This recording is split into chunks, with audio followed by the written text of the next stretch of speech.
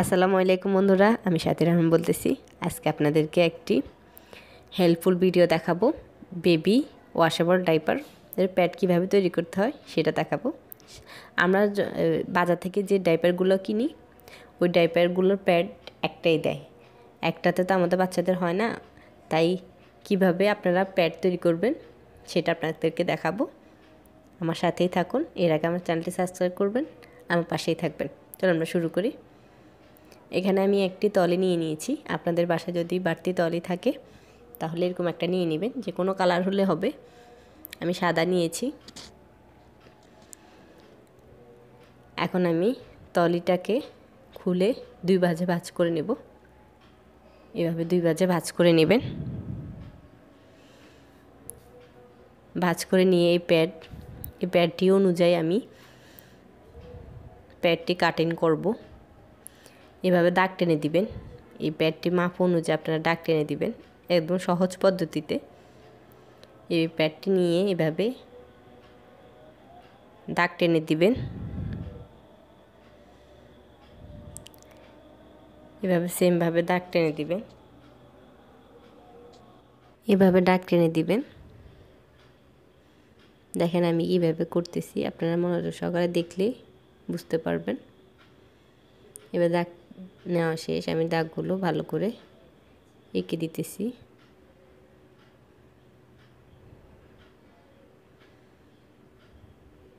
আপনার দাগ অনুযায়ী এভাবে কেটে নেবেন। আমি দুইটা গোল রাউন্ড আকারে কাটবো আর দুইটা চার কোনা আকারে কাটবো। আপনারা দেখেন, দেখলে বুঝতে পারবেন। এখন আমি কেচি দিয়ে কেটে নেব। এখানে আমি চারটা ডাইপার তৈরি করব। ডাইপারের প্যাড তৈরি করব। এখন আমি কেটে নিতেছি। এভাবে কেচে দিয়ে সমান করে কেটে নেবেন।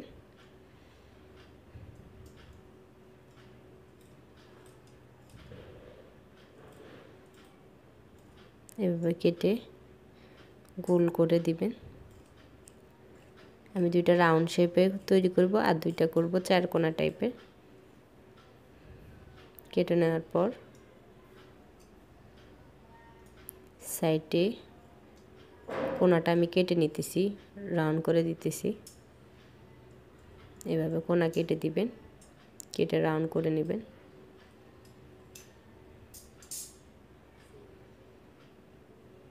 এটার মতো সেমভাবে আমি আরগুলো কাটতেছি। আমি একটা কেটেছি। দাগ অনুযায়ী আমি সোজা করে কেটে নিতেছি। আপনাদের বুঝতে অসুবিধা হলে আমাকে কমেন্ট করে জানাবেন। আর আমাকে দয়া করে সাপোর্ট করবেন।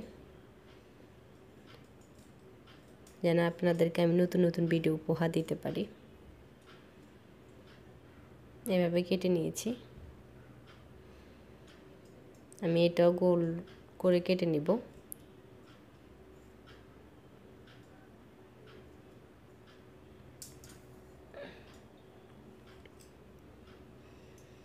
কোনাগুলো কেটে নিব।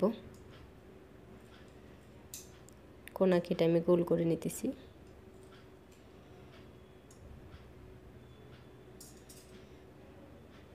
এভাবে আমি দুইটা গোল রাউন্ড করে কাটা শেষ। এখন আমি চার কোনারটা কাটতেছি।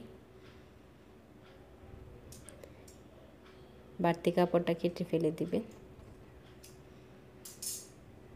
এভাবে একটা চার কোনার একটা কাটছি আর একটা কেটে নিতেছি।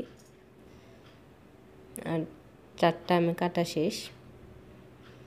এখন আমি আরেকটা জিনিস আপনাদেরকে দেখাইতেছি। আপনারা যদি চান তাহলে এখানে তিনটা পাট দিয়ে প্যাডটিকে একটু মোটা করতে পারেন। মোটা করলে ভালো, কারণ কাপড়টি সহজে ভিজে যাবে না। এভাবে তিনটা পাট দিয়ে সেলাই করতে পারেন। আমি আজকে তিনটা পাট দিয়ে সেলাই করব দুইটা আর সিং দুইটা পাট দিয়ে সেলাই করব দুইটা। আপনাদেরকে সেলাই করে দেখে, দেখিয়ে দিব। চলো আমরা সেলাই করি। আমার সাথেই থাকবেন। ভিডিওটি কেটে দেখবেন না। দেখলে বুঝতে পারবেন না। এখানে আমি সেলাই করতে নিয়ে এসেছি। এখানে আমি তিনটা পার্ট নিয়েছি, দেখেন। যে একটা, দুইটা, এই তিনটা। তিনটা পার্ট নিয়েছি। তিনটা পার্ট আমি সেলাই করে নেব চারপাশে। কিনারায় সেলাই করে দিব, তাহলে পাটগুলো বসে থাকবে, দলা পেকে থাকবে না। আপনারা দেখেন, সাইডে আমি একদম চারপাশে সেলাই করে দিব।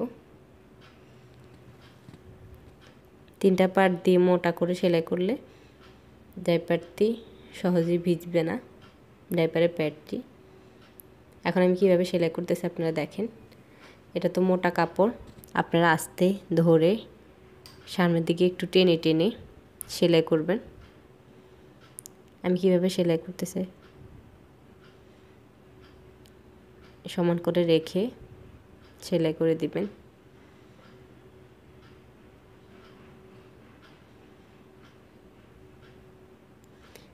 জোরে সেলাই করতে যাবেন না, তাহলে সুই ভেঙে যেতে পারে।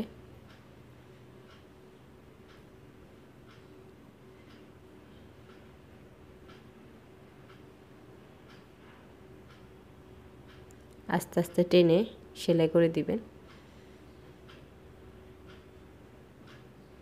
এভাবে সেলাই করে নেবেন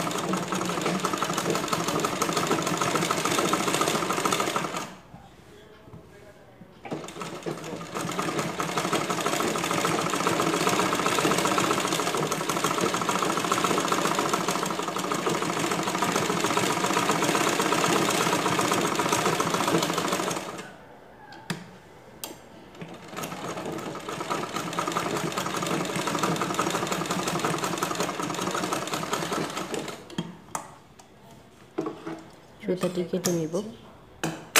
আপনারা আস্তে আস্তে টেনে টেনে সেলাই করবেন, জোরে সেলাই করতে গেলে। সুই ভেঙে যেতে পারে, বাড়তি কাপড়টি কেটে নেবেন। কাপড় যদি বের হয়ে থাকে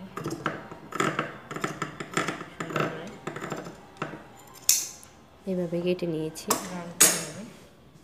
এভাবে চারো পাশে সেলাই করে দিলে এই পাটগুলো বসে থাকবে। এখন আমি পাশে পাইপিং দিয়ে দিব বা কাপড় লাগাবো, পট্টি বা কাপড় লাগাবো। এভাবে কাপড় লাগিয়ে নেবেন কিনারাতে, তাহলে সুতাগুলো বের হয়ে থাকবে না। দেখতেও সুন্দর লাগবে।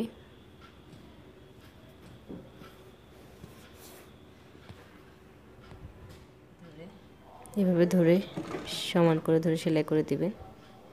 কাপড়টিকে মাঝখানে ভেতরে ঢুকিয়ে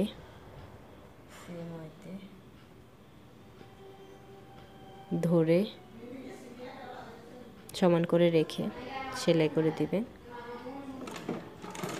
আপনারা টেনে টেনে সেলাই করবেন, কারণ কাপড়টা মোটা।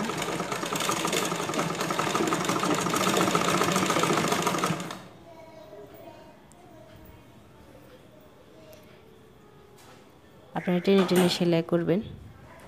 কাপড়টা মোটা, ওই জন্য আস্তে আস্তে সেলাই করবেন।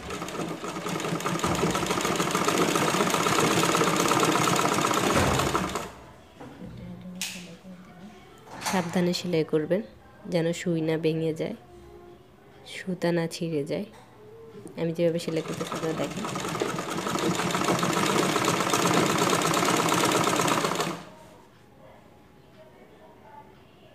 এভাবে ভাঁজ দিয়ে।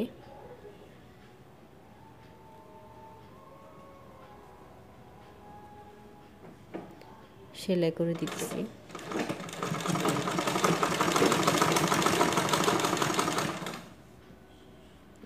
ঘুরিয়ে আমি কীভাবে সেলাই করতেছি আপনারা দেখেন। দেখলে বুঝতে পারবেন। আমি আপনাদের সুবিধার্থে বুঝিয়ে, বোঝানোর জন্য ফুল ভিডিওটা করতেছি।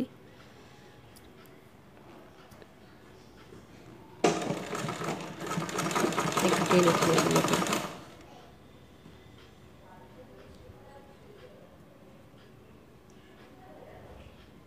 ধনু সাইডে ভাঁজ দিয়ে দিবেন।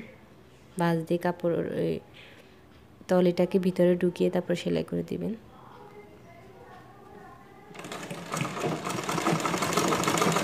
এভাবে সেলাই করে নেবেন। সেমভাবে। এই যে আমি চারোপাশ সেলাই করে নিয়েছি। এটা হচ্ছে তিন পার্টেরটা মোটাটা। এটা মোটা প্যাডটা এখন আমি দুই পার্টের প্যাডটা তৈরি করে দেখাবো। এখানে দুই পার্ট একটা, এই দুইটা। আমি এই প্যাডটি চারপাশে সেলাই করে নিয়েছি। আপনারা সেলাই করে নেবেন, তাহলে প্যাডটি বসে এদিক সেদিক হবে না, কাপড়গুলো সরে যাবে না। এখন আমি পট্টি লাগিয়ে নিব। এই যে দেখেন, আমি আপনাদের সুবিধার্থে আবার দেখাইতেছি এভাবে। এই সাইডে একটু ভাঁজ দিবেন। এই সাইডে একটু ভাজ দিবেন, তারপরে পট্টিটা লাগিয়ে নেবেন। এক বা দেড় ইঞ্চি সাইজের কাপড় নিয়ে, দেড় ইঞ্চি কাপড় নিলেই হবে। এক ইঞ্চি নিলে আবার চিকন হয়ে যাবে। দেড় ইঞ্চি নেবেন কাপড় পটির কাপড়েরটি আর লম্বা প্যাড অনুযায়ী যেটুক লাগে, ওটুক নেবেন। এভাবে বসিয়ে আস্তে করে টেনে টেনে সেলাই করে দিবেন। বেশি জোরে সেলাই করতে যাবেন না আমি বারবার বলতেছি। তাহলে সুই ভেঙে যাবে। এভাবে সেলাই করে দিবেন টেনে টেনে। সেলাই করে দিবে এটা হচ্ছে চার কোনারটা। সেভাবে ধরে নিচে। দোনো সাইডে এভাবে ভাঁজ দিয়ে মিডিলে তলিটাকে ভিতরে ঢুকিয়ে এভাবে টেনে টেনে সেলাই করবেন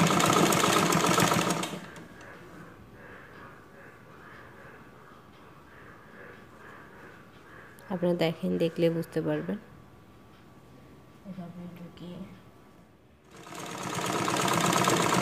সেলাই করতেছি। কোনাটা কীভাবে সেলাই করতেছে আপনারা দেখেন। নতুন নতুনরা ভালো করে মনোযোগ সহকারে দেখেন। এভাবে একটু ভাঁজ দিয়ে একটু কোনাকে উঠিয়ে একটু ভা, একটু ভাঁজ দিয়ে বসিয়ে আমি সেলাই করে দেব। আসলে বলে তো বোঝানো যায় না আপনারা দেখেন দেখলে বুঝতে পারবেন।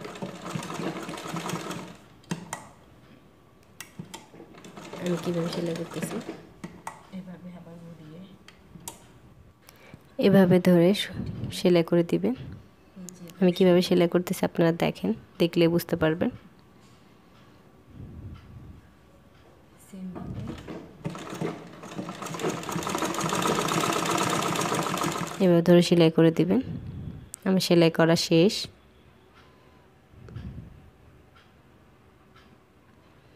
চার কোনারটাও আমি সেলাই করে নিয়েছি। দুনো পাশে কাপড় লাগিয়ে নিয়েছি। আমার ডাইপারের প্যাড আমি চারটা তৈরি করে নিয়েছি। এইটা হচ্ছে মোটা ডাইপারের প্যাড তি, আর এটা হচ্ছে পাতলাটা। দুইটা লেয়ারের এটা।